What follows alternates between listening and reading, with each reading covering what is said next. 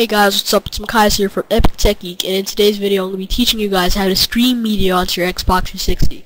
Now you can do this with a number of different devices, and I'll get to that in a bit.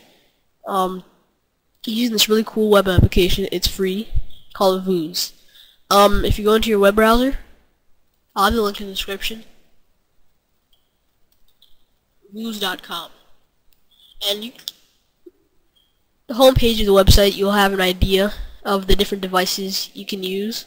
Your iPhone, your regular iPod with movies and video, your TiVo, your PSP, your Xbox 360, which is the console I'm going to be really focusing on in this video, and your iTunes library and your PS3. So um, this is available for Mac and PC, which is a good thing.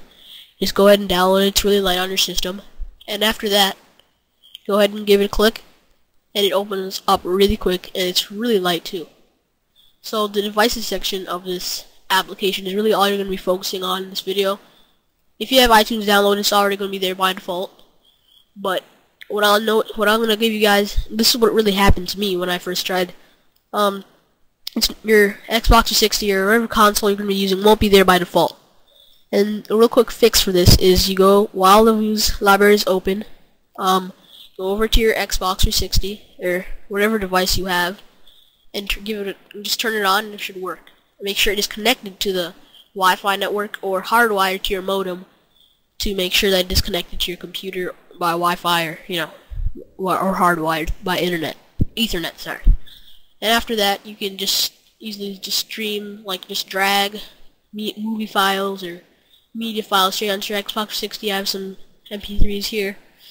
And overall, it's a really quick process. And um, I'm going to be switching over to my camera show you guys how to do that on your Xbox 360 to, you know, get to the media on your Xbox 360. So I'll switch over my camera now. Hey guys, what's up? It's Makai here and I'm back and I'm going to be showing you guys what it looks like when you first turn on your Xbox 360. I apologize if the camera quality isn't that good. I'm using the family camera. Um, until I get my hands on a more decent camera, I'm afraid that you're just going to have to, you know, deal with it. Sorry. So I'll just turn on your Xbox 360. Sure it's connected to the internet via Wi-Fi or Ethernet. And once you're at this home page, go into My Xbox and um, head over to Music Li no, sorry, my bad. Head over to Music Library. And once you're in the Music Library, you'll see that Vuze on your whatever PC is on will be available. And you can easily just get to this your music or video either way. So and pictures and pretty much anything can be streamed to your Xbox 360 that is media. So um overall I'm gonna show this a really quick process, um really light on your system as well.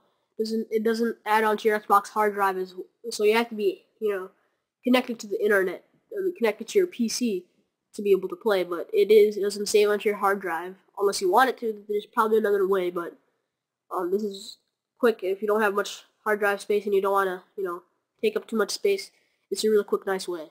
So, um, that's pretty much it for this video, guys. Hope you enjoyed, and I'll see you guys in the next video. Peace.